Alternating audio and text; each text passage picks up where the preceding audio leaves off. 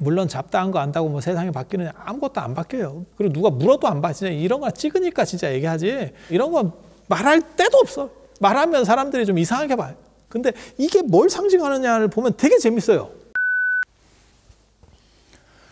자, 안녕하세요. 오늘은 정초와 관련해서 부적 이야기를 해드릴 겁니다. 이 부적에 대해서 어, 굉장히 많은 거리들이 있어요. 실제로 저한테 모모 출판사에서 부적에 대한 책을 하나 써주면 안 되느냐, 뭐 이런 얘기를 해서 어, 그렇게 한번 해볼까, 뭐 이런 말까지 오갈 정도였는데 예, 부적이 간단한 것 같지만 어, 여기 굉장히 복잡한 문화 구조들이 얽혀 있습니다. 어, 그리고 어디까지 효과가 있는지 예, 뭐 이런 것까지 예, 기본적인 걸 말씀을 드릴게요. 어, 옛날 사람들이 진리에 도달하는 방법, 그러니까 진리, 그러니까 신중심의 문화는 신이 어떻게 나를 해줄 거냐라고 하는, 그러니까 신과 인간의 관계라고 하는 게 존재하고 인간과 신은 분리되어 있습니다. 그러니까 이 인간은 절대 신이 될 수가 없어요. 그게 이제 기독교나 이슬람의 전통이라고 보시면 돼요. 유대 전통도 마찬가지고, 어, 그게 사막 종교 전통이라고 보면 되고, 그게 신과 인간의 관계, 음, 라고 하는 걸 정점으로 하는 그런 문화가 있고 축의 시대 지금으로부터 2200년에서 2800년 사이에 이르면 진리 중심으로 바뀌어요. 그게 이제 희랍도 그렇고 그래서 희랍에서는 이제 뭐 소크라테스, 플라톤, 아리스토텔레스, 뭐 탈레스, 파르 어, 파르메니데스 뭐 해갖고 숫자 들어가는 사람들이 이제 계속 나오게 되고 그게 이제 철학자들이죠. 거기 숫자는 남성을 나타내는 거예요. 정확하게 말하면 네, 남성. 어. 그리고 그 다음에 중국에서는 자자 들어가는 사람들, 뭐 도자, 맹자, 장자, 어, 뭐 순자, 뭐 해갖고 자자 그 자는 큰 선생이라는 뜻입니다. 큰 선생. 그래서 앞에 성을 붙이고, 그러니까는 김씨 큰 선생님, 뭐 이런 쪽 우리식으로 표현하면 뭐 박씨 예, 선생님, 뭐 이런 식으로 어, 어떻게 보면 학원으로 말하면 일타 강사지 일타 강사. 그쪽 전공에서 최고 선생. 음.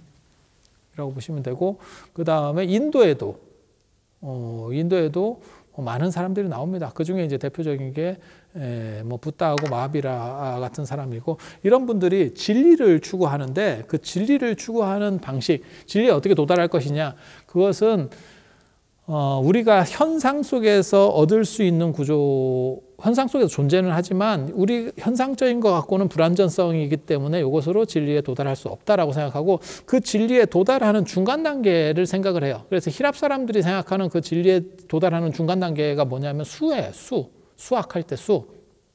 그래서 어, 제가 그런 얘기 하는데 우리가 왜 어, 실제로 쓰지도 않으면서 수학 배점이 이렇게 높으냐면 그게 사실은 플라톤 때문이다. 플라톤의 영향 때문에 플라톤이나 어, 뭐 피타고라스나 이런 사람들은 수의 정합성이 진리를 모사하고 있고 그것이 진리에 도달하는 어, 이데아나 이러한 진리적 가치에 도달하는 방법이라고 생각해요. 그거는 완벽한 거죠. 어, 숫자적 계산이라고 하는 것은 답이 나오는 거죠. 우리가 사는 계산, 현상 내에서 보는 그런 어, 인간의 마음이라든지 이런 계산들은 답이 없죠. 그러니까 왜 사람이 좋으냐? 그냥 좋으니까. 싫으면 왜 싫으냐? 그냥 싫으니까. 이런 거지. 나한테 잘해준다 그래서 꼭 좋은 것도 아니고 다 그렇게 가는 거고 숫자는 거의 정확하게 정해져 있죠. 그래서 그게 어디까지 내려오냐면 그런 숫자 전통이 어, 아인슈타인까지 거의 그렇게 내려오죠. 그리고 현대에 들어서 과연 그러한 숫자가 이제 타당하냐에 대한 논의가 나오기 시작하는 게 그게 양자역학. 어, 하이젤베르그 어, 나오면서 이제 상황, 상황들이 바뀌기 시작하는 거죠. 그래서 어, 유명한 예가 있죠. 아인슈타인이 어, 신은 주사위 노름을 하지 않는다. 그러니까 어, 그런 확률 계산으로 하는 게 아니고 어, 랜덤으로 하는 게 아니고 실제로는 다 정해져 있다. 그러니까 수학적이라는 생각을 한 거죠. 그렇지만 실제로 지금 현재 과학이 밝혀내는 바로는 전 세계 전 우주를 지배하는 건 그냥 우연적 확률이라고 하는 거죠. 지금은 그래서 수가 타당하냐에 대해서 이제 에, 수학적 계산이라는 게 과연 타당하냐에 대한 이야기들이 나오는 거고 근데 옛날 사람들은 거기까지 생각을 못 했으니까 아무튼 뭐 희랍 철학에서는 수라고 하는 개념을 쓴 거고 그 다음에 저 메소포타미아 메소포타미아가 두 강 사이라는 뜻이거든요 티그리스 유프라테스 강의 사이에서 메소포타미아 문명이 나왔으니까 여기하고 그 다음에 인도 인도 문명의 특징이 뭐냐면 언어에 대한 신뢰라는 게 있어요. 그러니까 사람은 말이라는 거는 굉장히 신뢰성이 있는 거고 그것은 진실한 거다. 그래서 진실한 언어라는 개념이 있어요. 그 진언이라고 합니다. 그게 이제 불교를 타고 진언이라고 하는 그래서 그러한 진언에는 특수한 에너지가 있다는 거예요. 그래서 이 진언도 종류가 여러 가지가 있습니다. 짧은 거는 주, 그 다음에 긴 거는 다라니, 예, 다라니. 이래갖고 그런 진언들을 외우면 그것들은 어떤 어, 초월적 힘을 준다라는 게 있고 그 다음에 맹세, 서원, 축원 문화도 이런 진언 문화예요. 그래서 그 말을 가지고 내가 그렇게 서원을 하면 그것이 실제로 초월적 에너지를 발휘하면서 일어나는 거죠. 그러니까 두 가지 진원 문화가 있다라고 보시면 돼요. 그건 서원, 축원, 그 다음에 맹세 같은 그런 식의 알아들을 수 있는 진원 문화, 그 다음에 하나는 초월적 진원 문화. 그리고 둘 다 에너지를 가져요. 그래서 불교 안에서는 아직도 이 두 가지를 하고 있는 거죠. 그래서 사시에 보면 뭐 천수경 같은 거 하면 못 알아듣는 진원 한참 하고, 어, 사시 불공 때도 못 알아듣는 진원, 뭐 보공양 진원, 운신공양 진원, 뭐 저거 저거 해서 진원들 하고, 어, 신도만 못 알아듣느냐, 스님도 못 알아듣고, 에브리바디 다 못 알아듣고, 못 알아들어도 관계없어요. 어, 이유는 뭐냐면, 어, 그렇게 발음함으로 인해서 에너지가 나오는 거지, 내용을 이해하면서 에너지가 나오는 게 아니에요.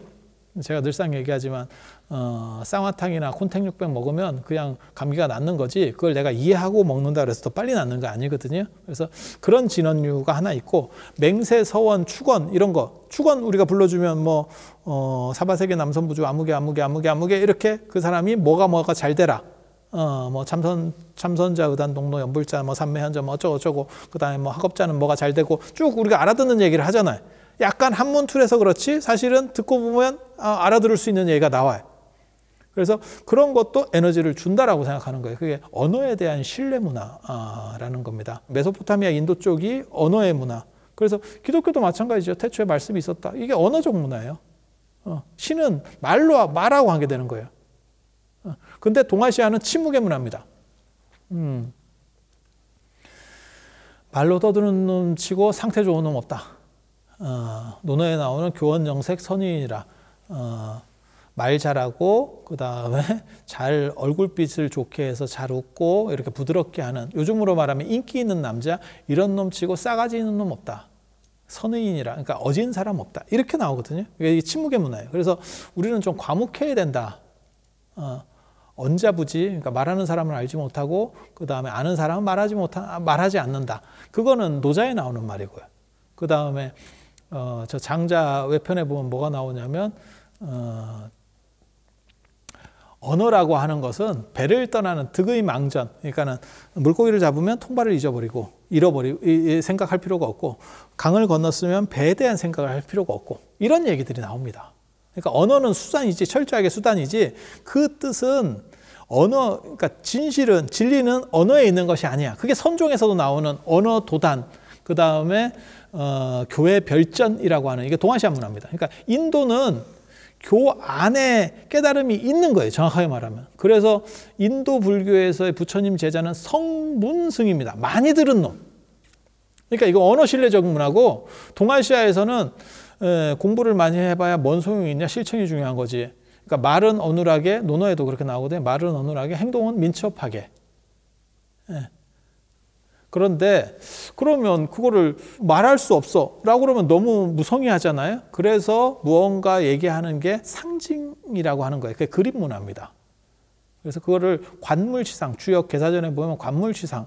그래서 어 사물에 어떠한 어 뭐라 할까 상징을 부여하는 문화. 그 대표적인 게 에, 주역의 태극과 팔캐 같은 거예요. 우리 태극기 생각하시면 됩니다. 태극기 안에 건, 건곤, 감리 네 개의 캐만 있잖아요. 원래는 그 여덟 개거든요. 건태이진, 송강감곤 이렇게 해서 여덟 개의 캐가 있는 거고 지금 상징적으로 거기 중에서 대표적인 대장급 네 개만 해서 우리가 태극기를 만든 거죠. 거기에 우주의 원리가 있다. 라고 말하는 거죠. 그래서 예전에 우리 선생님이 기가 막힌 말씀을 하셨는데 우리나라 태극기야말로 가장 철학적인 음, 국기다.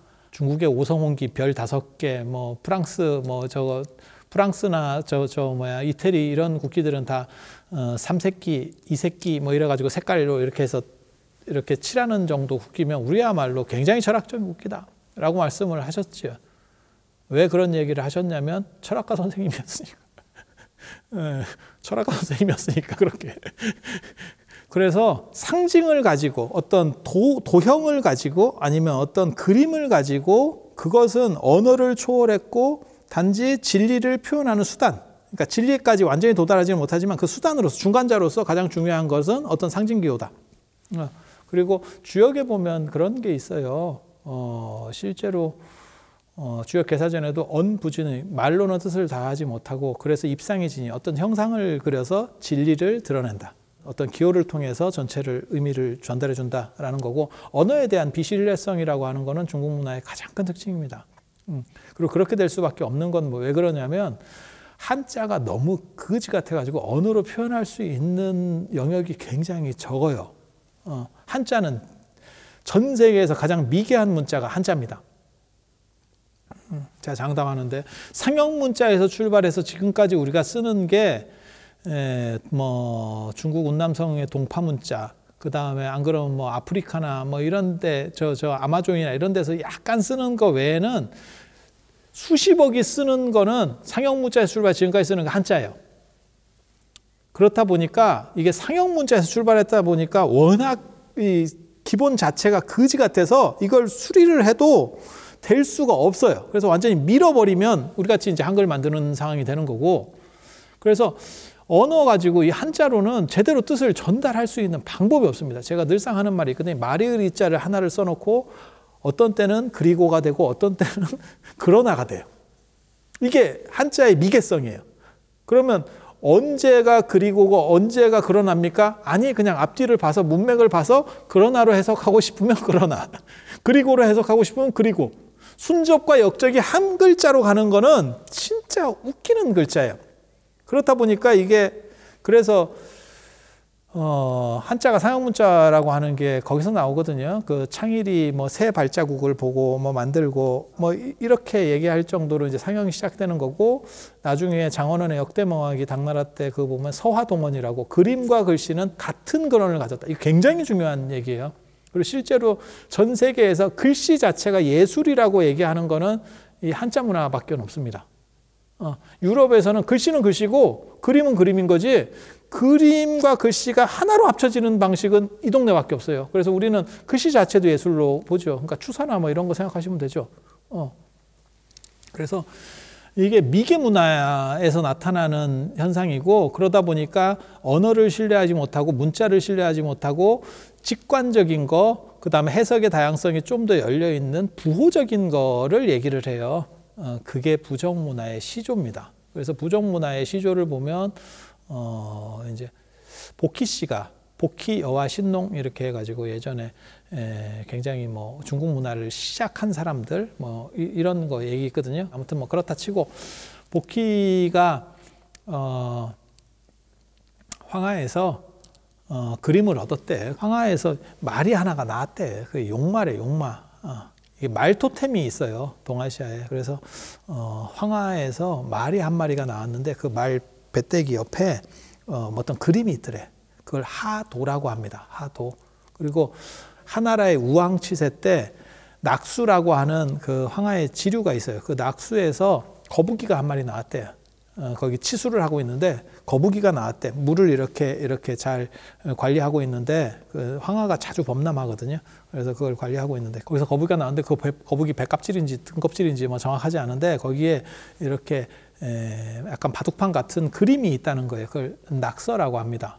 그래서 하도 낙서 이렇게 황하에서 용마에게 나온 그림 그래서 하도 그 다음에 저거를 에, 낙 낙수에서 나왔다 그래서 낙서, 어, 우왕 때, 음, 우왕 때, 하나라의 시조인 우왕 때.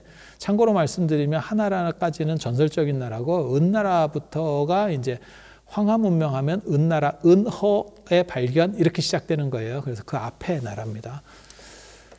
그래서 그걸 합쳐서 하도 낙서를 합쳐서 도서라고 하는 거고 도서가 지금도 쓰이는 표현이에요. 낙관 원래 이름이 도서입니다. 지금 우리는 낙관이라고 잘못 쓰지만 원래는 그게 도서예요. 그게 그림 문화입니다.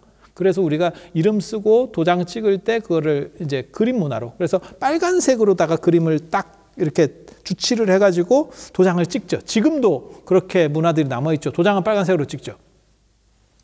그게 부적이라고 보시면 돼요. 그런 게 부적의 시조예요. 부적의 시조고, 어, 이제 부적하면 보통 사람들이 종이에다가 노란 황지에다가, 어, 빨간색 주사로다가 그림을 그린다고 생각을 하거든요.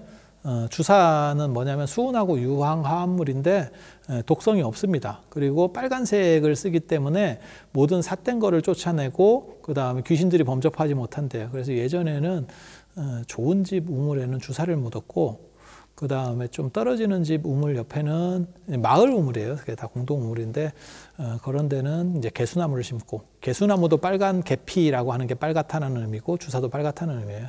어, 그래서 그 개수나무가 지금까지도 내려와서 달나라까지 진출을 하는 거고 어, 그게 굉장히 재밌는 문화입니다. 뭐 아무튼 그렇다 치고 그 다 벽사 문화예요. 왜냐하면 잘못해서 우물 관 우물이 조금만 잘못 관리돼서 수인성 질병으로 돌면 한 마을이 절, 절단이 나기 때문에 거기다가 어, 삿된 것들을 쫓아내는 그런 기능들을 한 거죠. 그리고 도자기도 만들 때 보면 청아를 쓰는 경우도 있지만 주사, 진사라고 하는 거죠. 어, 주사, 주사를 넣으면 그게 최고급이에요. 주사하고 청아가 청아는 코발트 쓰는 거고 그건 회청이라 그래서 수입해 와야 됐고 주사 같은 경우도 구하기가 어렵고 주사도 좋은 거는 어, 금이랑 거의 같은 값으로 다가 올라갑니다. 주사 굉장히 좋고 그래서 그 주사로다가 이렇게 써서 가지고 있으면 부적이다. 뭐 이런 얘기가 있는데 그거 좀 다릅니다. 그러니까 주사를 쓸 때도 있고 또 뭐가 뭘 쓰냐면 닭피를 쓸 때도 있고 그것도 수탉피, 수, 수탉의 벼슬을 잘라서 그 피를 뽑아서 쓰거든요. 어, 이제 수탉이 새벽을 알리고 그게 이제 모든 귀신이나 이런 것들을 정지시키는 효과가 있다라고 보는 거잖아요. 예전에 그 뭐 닭 울면 어, 닭이 울면 뭐 샀던 것들은 다 없어지고 뭐 날이 밝고 뭐 어쩌고저쩌고 하잖아요. 그래서 거기에 이제 상징성을 부여하는 거고 그 중에서도 에너지가 제일 많이 몰린 데가 닭의 벼슬 부분이라고 생각을 하는 거예요. 옛날 사람들은 그런 생각 되게 많이 했습니다. 그래서 닭도 그렇고 어 저거 뭐야 어, 사슴도 벼, 이 뿔에 에너지가 모여 있다라고 생각하는 거잖아요. 그러니까 왕관 쓰고 있다라고 생각하는 거거든요. 어, 그래서 녹용을 먹는 문화가 있는 거고 우리한테 어, 그 다음에 수탉도 어, 예전에는 수탉도 숭배도 있었어요. 그래서 우리가 저 뭐야 계림이라고 하는 기말지 나오는데도 닭이 울고 그 다음에 저 뭐야 박혁것의 부인인 아령 부인도 원래 주둥이가 부리가 됐고 그래서 씻어주니까 아령정에서 씻으니까 부리가 떨어졌다 뭐 이렇게 이게 닭 토템이 닭 토템 새 토템 닭 토템 뭐 이런 것들이거든요. 그래서 그런 신령한 음, 부분들이 있어요. 그래서 세화에 어, 세화에 정초에 붙이는 세화에 닭 그림이 나오는 경우도 있어요. 호랑이 그림 나오고 까치 그림 나오고 그 다음에 맹수 그림 그러니까는 저 뭐야 어, 매나 독수리 그림 나오고 그런데 닭 그림이 의외로 나오는 경우도 있어요. 그다음에 잉어 그림, 잉어는 이제 등용문 이렇게 해서 출세한다라고 하는 그런 문화들이 있고 어, 좀 어, 재밌는 여러 가지 상징보들이 있어요. 그렇게 해서 닭피로 쓰거나 주사로 쓰거나 예전에는 아마 닭피가 더 쌌었을 겁니다. 단가가 어, 어, 주사가 훨씬 귀한 거거든요. 그리고 재밌는 강아지 말씀드리면 주사 혹시 사람이 정신이 혼절했을 때 부적을 불에다가 탁 태워가지고 그걸 물에다 이렇게 휘저어서 그 잿물을 먹으면 정신이 돌아온다 이런 얘기가 있는데 그게 어느 정도는 사실입니다. 어, 뭐 말 같지도 않은 건데 주사라고 하는 거에 대한 주사의 약 성분 때문에 나타나는 현상이에요. 부적의 성분이 아니고 부적의 효과가 아니고 주사 효과예요. 그래서 금속으로 된 약재를 썼을 경우에 제가 또 한에 대해서 또 오랫동안 강사를 한 사람으로서 얘기하면 어, 이 금속 성분의 약 성분이 제일 빨리 받아요. 그래서 우황청심만도 먹으면 뭐 사람이 정신이 돌아온다. 그거 맨 밖에 쌓이는 금 때문에 나타나는 현상이에요. 어. 한의약은 그렇게 빨리 효과가 안 나요. 그러니까 우리가 어, 진짜 뭣도 모르는 사람들이 자꾸 사극 보면 이렇게 뭐 예, 사약 먹으면 바로 사람이 배가 뒤집고 죽는 줄 안 죽어요. 어, 쉽게 안 죽습니다. 그래서 사약 먹고 불 떼서 우리가 쌍화탕 먹고 어, 찜질하듯이 한번 해야 사람이 갑니다. 그래서 불 떼줘요. 어, 불도 떼주는 서비스를 제공해 주거든요. 그래서 부적이라고 하는 게 그런 두 가지로 그렸다더라. 닭피로 그렸다거나 주사로 그렸다거나 그리고 그걸 황제에다가 황색은 이제 길하다. 그다음에 황제를 황제가만이 쓸 수 있는 최고급 색이니까 어, 그 권위를 내세워서 부적을 쓰는데 실제로는 이렇게 쓰는 게 아니고 가롱시천의 포박자 네 편에 보면 그 예, 위진남북조 시대 사람인데 그런데 보면 뭐가 나오냐면 음, 부적을 나무로다가 만드는 거예요. 나무 패로 손바닥만한 나무가 있어요. 그 나무도 재질이 있어요. 그러니까는 은행나무라든지 수백 년 된 나무를 쓰는 거예요. 그 대추나무라든지 이런 걸 써가지고 거기에 벼락을 맞으면 더 좋고 그게 이제 벼락 맞은 대추나무 그런 얘기들이 거기서 나오기 시작하는 거예요. 그리고 거기다가 부적을 파가지고 패처럼 가지고 다니는 거예요. 호패처럼 사실은. 그런데 그게 수백 년 된 나무가 벼락 맞은 게 찾기가 굉장히 어렵거든요. 어, 그렇다 보니까 그거를 이제 먹, 먹을 발라서 찍어내는 거죠. 이렇게 인경하듯이 이렇게 찍어내는 거예요. 어, 경전 찍듯이. 그래서 검은 부적도 있습니다. 그렇게 찍어낼 때는 검은색 쓰는 거예요. 그래서 검은 부적도 있어. 어. 그래서 원래는 나무로다가 만드는 게 원형이고 그 다음에 그렇게 찍어내는 방식도 있다더라. 어, 실제로 절에서도 다란이라든지 이런 거 복장물을 풀다 보면 그런 걸 많이 찍어 놓은 게 있어요. 어, 찍어 놓은 게 있어요. 그래서 그런 식으로 결국 종이에다가 아까 황제에다가 이렇게 쓰는 방식으로 바뀌게 되는 거고 그리고 부적의 형태들이 있습니다. 어, 이제 그림 부적. 정확하게 말하면 제일 우리나라에서 널리 유행하는 부적은 태극기라고 생각하시면 돼요. 어, 태극기라고 생각하시면 되고 그리고 어, 가장 고분 형태, 부적에서 가장 오래된 형태들은 올 그림으로 된 게 가장 오래된 형태예요. 그래서 삼재부적에서 뭐가 나오냐면 어, 삼두 일족 응. 세 개의 머리를 가지고 그 다음에 한 다리 다리가 하나인 어, 매 부적.